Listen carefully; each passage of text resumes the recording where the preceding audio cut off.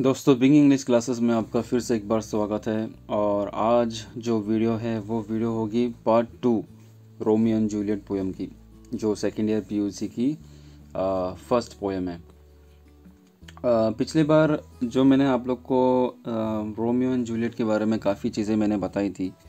चलो थोड़ा बहुत हम लोग समरी उसका आ, देख लेते हैं। यानी थोड़ा सा रिविज़न वगैरह कर लेते हैं।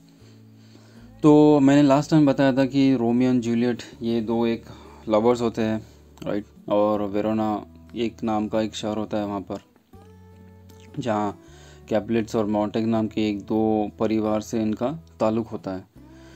और जो ये कैपलेट्स और माउंटेक्स हैं, ये दोनों एक दूसरे के जानी दुश्मन होते हैं राइट और मैंने ये भी बताया था कि जो रोमियो है वो जूलियट को प्यार करने से पहले रोजलिन नाम की एक लड़की के साथ उसका कुछ अफेयर वगैरह चल रहा था। लेकिन रोजलिन का रोमियो में कोई इंटरेस्ट नहीं था। रोमियो इतना डिप्रेस हो चुका था कि उसे उसका प्यार मिल नहीं रहा था। तो एक बार क्या हुआ कि सारे लोग, जो इसके जो दोस्त होते हैं रोमियो के, वो उसे जूलियट या रोजलिन की जो पार्टी होती है, वहाँ पर लेकर जाते उसे, जो कैपलेट्स फैमिली ने उसको रखा था। और वहाँ उसकी मुलाकात होती है जूलियट के साथ में। तो यहाँ तक हम लोगों ने ये बात हम लोगों ने पिछली वीडियो में बताया था। अब यहाँ पर दो Romeo belong to the family of Montagues. He attended the supper in disguise supper का मतलब होता है जो पार्टी वगैरह होती है, यानी दावत बोलते हैं ना, उसको कहते हैं supper in disguise to see see Rosaline ये जो रोमियो होता है, वो दुश्मन पार्टी से बिलोंग करता है, यानी ये मॉन्टेक्स ये फैमिली से बिलोंग करता है, और जो जूलियट होती है, वो कैपलेट फैमिली से उसका ताल्लुक होता है। तो दोनों कैपलेट्स ने मोन्टेक को बुलाया ही नहीं था पार्टी पर। तो अब इनको यहाँ, वहाँ जाना है, उनको रोजलिन को देखना है तो कैसे जाएँगे? मॉन्टेक्स ये जो लोग थे, रोमियो और उसके जितने भी दोस्त वगैरह उन्होंने अपने आप को बदल दिया, अपनी आइडेंटिटी को छुपा दिया, ठीक है? इससे क्या हुआ कि जो मोन्टेक्स के, फिर वो कैपलेट्स के पार्टी में जा सकते थे। There he sees Juliet on the dance floor तो जब उसने जूलियट को देखा तो उसके होश उड़ गए। इस तरह से खूबसूरत थी वो कि उसकी, उसका बयान भी नहीं कर सकते। उसके कोई मतलब उसकी बराबरी भी करने वाला कोई नहीं। इस तरह से इस पोयम में बताया गया है। जैसे कोई अप्सरा हो या कोई ऐसी कोई, आसमान से नीचे उतरने वाली कोई ऐसा, इस तरह से कोई देवी वगैरह बोलते हैं ना वैसा। There there he sees Juliet on the dance floor and is fascinated by her beauty fascinated का मतलब होता है आकर्षित होना किसी तरफ़, ठीक है? और ब्यूटी का मतलब होता है खूबसूरती। तो जब रोमियो ने जूलियट को देखा तो इतना खूब, इतना खुश हुआ कि वो रोजलिन को ही भूल गया। After the dance he learns that she is the daughter of lord Capulet she feels attracted to the man from the enemy family अब यहाँ पर जो आग लगी थी, ये दो तरफा लगी थी। इसका मतलब है, जब रोमियो ने जूलियट को डांस करते हुए देखा, तब रोमियो जूलियट पर काफ़ी फ़िदा हो गया और जूलियट भी जब रोमियो को देखती है तो वो भी खुश होती है और वो भी रोमियो को पसंद करती है। हालाँकि यहाँ मुझे आप लोगों को ये बताना है कि जूलियट जो है उसकी ऑलरेडी मंगनी हो चुकी है। फियांसी बोलते हैं हम लोग। जिसके साथ मंगनी होती है ना, उसको फियांसी बोलते हैं।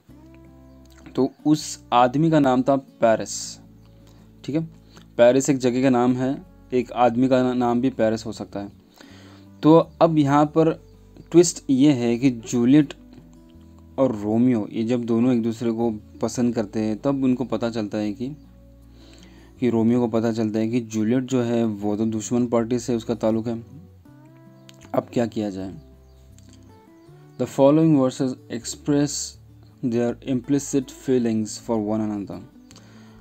अब जो नीचे लिखे हुए जो वर्सेस है, यानी वर्सेस का मतलब होता है जो लाइंस जो बोली गई बातें, ये जो है, ये उनके प्यार को दर्शाती है। ठीक है? तो चलिए रोमियो ने क्या कहा? मैंने पिछले बार आप लोग को बताया था वीडियो में कि रोमियो को कुछ लाइंस दी गई थी बात करने के लिए। और ये जो प्ले है, ये ये बहुत बड़ा प्ले का एक छोटा सा हिस्सा है। और मैंने ये भी बताया था कि लाइंस कितनी थी और वो सारी चीज़ें, वो आप लोग को ध्यान में रखनी है। वैसे ये एग्ज़ाम में नहीं आते लाइंस वगैरह, सिर्फ़ आप लोग को एक बैकग्राउंड देने के लिए मैंने आप लोग को बताया कि वो एग्जैक्टली होता कैसे।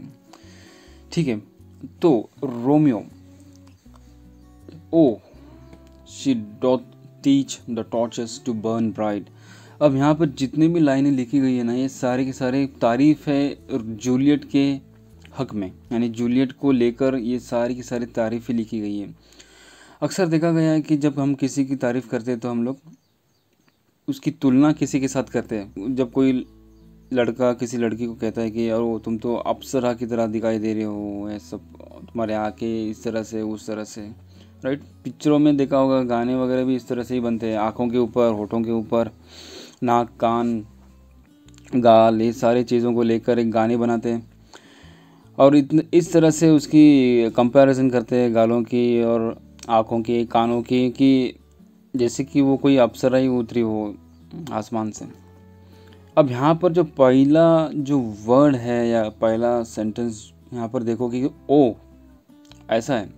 इसका मतलब ये हुआ कि ये आश्चर्यजनक बात एक्सक्लेमेशन बोलते हैं हम लोग उसको इंग्लिश में। जब हम किसी चीज़ को देखते हैं और सरप्राइज़ होते हैं तो हमारे मुँह से निकल जाती है कुछ चीज़ें, बिना सोचे समझे। तो यहाँ पर वो इतना सरप्राइज़ हो गया देख के, क्योंकि उसके हिसाब से ये जो लड़की है, ये सबसे ज़्यादा खूबसूरत लड़की है और वो इतना इतना सरप्राइज़ हो गया कि ऐसी भी कोई लड़की हो सकती है इस दुनिया में, इतनी खूबसूरत। जो पहला वर्ड है वो है वो। शी डॉट डॉट ये ओल्ड वर्ड है इंग्लिश का। डज यानी हकीकत में। इंडीड ठीक है? She doth teach the torches to burn bright अब यहाँ पर उसका कंपैरिजन किसके साथ किए? टॉर्चेस यानी पुराने ज़माने में, अब यहाँ पर टॉर्चेस का मतलब आज के ज़माने में टॉर्चेस का मतलब होता है बैटरी बोलते हैं ना हम लोग में। लेकिन पुराने ज़माने में, राजा महाराजाओं के ज़माने में जो टॉर्चेस जो बोलते थे, वो मशाल को बोलते थे, पिछले ज़माने में, ठीक है? अब यहाँ पर जो मशाल की जो रोशनी बाहर निकलती है, उसकी वो जो रोशनी है, ये जूलियट की खूबसूरती के आगे कुछ भी नहीं। यानी कि जो रोशनी जो रोशनी मशालों को मिल रही है, वो जूलियट की वजह से मिल रही है। It seems she hangs upon the cheek of night इतनी खूबसूरत लड़की को देख कर ऐसा सरप्राइज़ हुआ था कि उसके होश ही उड़ गए थे। अब वो जो देख रहा था, वो पूरी अब पूरा इतना खो गया था वो लड़की में, वो कि उससे कुछ सूझ ही नहीं रहा था। पागल हो गया था वो देख कर वो लड़की को। ठीक है? It seems she hangs upon the cheek of night it seems कि मुझे ऐसा लग रहा है she hangs upon the cheek of night अब इसको ऐसा मत समझो कि यार चीक ऑफ़ नाइट नाइट का मतलब अंधेरा और चीक का मतलब होता है गाल हैंग्स का मतलब होता है लटकना। तो इसका क्या मतलब निकालोगे आप लोग? जो नाइट है ना, ये एक लड़की को दर्शाया जाता है और वो जो लड़की है, वो है अफ्रीकन लड़की। आगे वाले लाइन में आपको पता चलेगा। नाइट जो है वो एक अफ्रीकन लड़की का एक प्रेफरेंस यानी उसको तुलना की गई है नाइट को। एक औरत की, औरत का जगह दिया गया है, एक औरत का रूप दिया गया है, ठीक है? कान में जो ज्वेलरी होती है इयरिंग बोलते हैं उसको, वो कभी कभार जब नाचते हुए, वो जो इयरिंग होती है, वो बार बार आकर कहाँ लगती है? गाल पर लगती है। राइट अगर थोड़ा बहुत लंबी ज्वेलरी पहनोगे इयरिंग पहनोगे तो क्या होता है, नाचते वक्त वो इधर उधर टकराती है गाल पर राइट तो जो वो गाल पर टकरा रही है ना तो वो जो है, वो इयरिंग की तरह जूलियट को इयरिंग से कंपैरिजन किया गया यहाँ पर। रोमियो, ये सोलो की बोलेंगे हम उसको ये जो ये जो लिखा हुआ है ना, इसे सोलो क्यों बोलते हैं? इसका मतलब ये हुआ कि रोमियो ही अकेला उस प्ले में बात कर रहा है, बाकी कोई बात नहीं कर रहा। वो इस तरह से नाच रही है जैसे कि किसी के, किसी लड़की के गाल पर लटकती हुई यूरिंग उसका डांस भी काफ़ी खूबसूरत है। तो इसी तरह से ये लड़की नाच रही थी, ठीक है? और जब वो नाच रही थी लोगों के बीच तो सेंटर ऑफ़ अट्रैक्शन थी। भले ही उसके आसपास बहुत सारी लड़कियाँ नाच रही थी, लेकिन वो वो सेंटर ऑफ़ अट्रैक्शन थी। ये जो जूलियट है, भले ही वो नाच रही है लोगों के बीच ख़ासकर सारी की सारी लड़कियाँ हैं। सारी की सारी खूबसूरत है, लेकिन उन खूबसूरत लड़कियों में सबसे ज़्यादा खूबसूरत जूलियट है। तो आप लोग हैज़ अ रिच ज्वेल ये वो डायमंड का, शायद हो सकता है कि वो डायमंड का बना हुआ हो राइट कौन सा ज्वेल वही ज्वेल जो उसने कान में पहना है। इन एन इथोप इथियोप्स या इथियोप एक अफ्रीकन वुमन को कहते हैं। अफ्रीकन लड़की को कहा जाता है, या अफ्रीकन औरत को कहा जाता है। इथोपिया एक शहर है अफ्रीका में, एक सिटी है, और वहाँ की लड़की को इथियोप कहा जाता है। अब यहाँ पर एक कॉन्ट्रास्ट है वाइट और ब्लैक का। यहाँ पर जहाँ पर भी, जहाँ पर भी आप देखोगे ना, वहाँ पर कॉन्ट्रास्ट दिया है। कॉन्ट्रास्ट का मतलब होता है ऑपोजिट चीज़ें। पहली वाली चीज़ों में आप देखो, पहली लाइन में देखोगे तो टॉर्च और लड़की टॉर्च और जूलियट इन दोनों को कंपेयर किया गया है। सेकेंड वाले में कंपेयर किया गया है, लड़की लड़की को और ज्वेल को, ठीक है? और तीसरे में कंपेयर किया गया फिर से लड़की की कानों के ईयरिंग को और उस ज्वेल को, ठीक है? As rich jewel in an Ethiop ear अब देखो वो लड़की जो है इथियोप यानी अफ्रीकन वुमन वो उसका जो कलर है वो डार्क है। लेकिन जो उसने ईयरिंग पहना है, वो डायमंड का है वाइट इन कलर चमक रहा है। तो इससे क्या हो रहा है कि वो जो लड़की का कलर ब्लैक और ये ईयरिंग का कलर वाइट ये जब दोनों मिक्स हो रहा है तो ज़्यादा खुल कर दिख रहा है वो ईयरिंग ज़्यादा उठ कर दिख रहा है, अगर मैं बोलूँ तो ठीक है? वो ईयरिंग ज़्यादा उठ कर दिख रहा है। तो उसी तरह से जूलियट दिखाई दे रही है उन लोगों के बीच, ठीक है? देखो कैसे कंपैरिजन किया है उस रोमियो ने जूलियट का, खूबसूरती का। Beauty too rich for use इतनी खूबसूरत है कि उसका, उसको इस्तेमाल करना, यानी उसकी खूबसूरती का उस खूबसूरती की ज़रूरत ही नहीं है इस दुनिया में। यानी ये जो दुनिया बनी हुई है, ये धरती बनी हुई है, इसके लायक ही नहीं है इस खूबसूरती की। For earth too dear too dear का मतलब होता है ज़्यादा महँगा। डियर का मतलब होता है महँगा। देखो यहाँ पर ना इंग्लिश लिटरेचर में एक वर्ड के बहुत सारी मीनिंग्स निकलते हैं।